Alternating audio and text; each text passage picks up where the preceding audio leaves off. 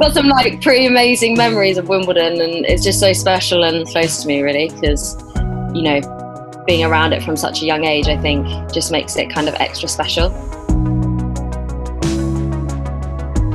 My mum was very friendly with the Keothavong family, and I remember that Anne took me into the players' bit, which was so exciting because I could see everyone there, and I was nine years old, and it was, you know, the biggest highlight of my life um, right then. Also, I used to be coached by a guy called Angel Gimenez, who was coaching Hantuchova at the time. Basically, he invited me to Wimbledon when she was playing her match, and I sat with him. I think about it now, you know, with my team and whatever, and for an experience of someone so young, it was just, yeah, just amazing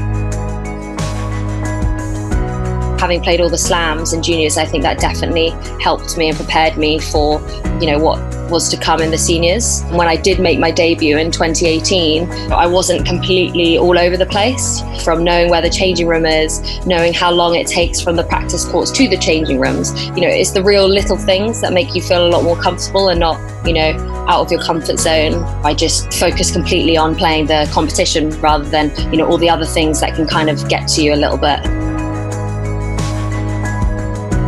being able to play in such, you know, an iconic place and with so much rich history, I think is so special. And, you know, not many people get the opportunity to play on such a big court. I was just so excited when I was there. As much as I was super nervous as well at the same time, I tried to really take in all the surroundings, use the British crowd because they're awesome.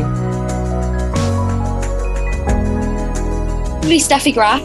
Do you know what? I just keep seeing highlight reels of her and she's just incredible.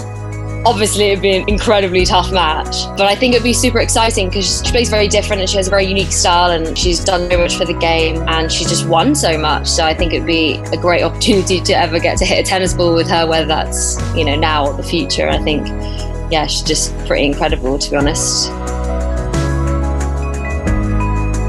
I think it's the opportunity to play at the best slam in the world. I mean, Wimbledon, you know, for me is the best time of year especially being on grass i feel you know very comfortable on the surface and just being able to play in front of the, the home crowd really. You know, i really hope in the years to come that i can play it as many times as that i can.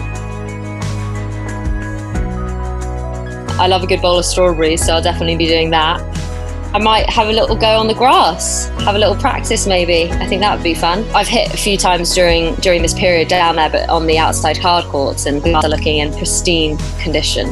That would be fun to kind of mark the occasion, really.